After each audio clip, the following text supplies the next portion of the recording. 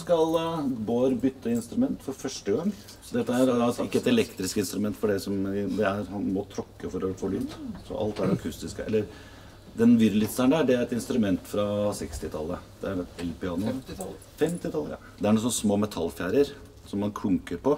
Og så er det noen slags lignende gitarmikrofoner som tar opp den lyden. Det er en sånn blanding mellom akustisk Det er mye som kan gå galt. Mye som kan gå. Har du bua Ja, der? jeg er klar. Ok. Og det er da sjarmerende surt, dette her.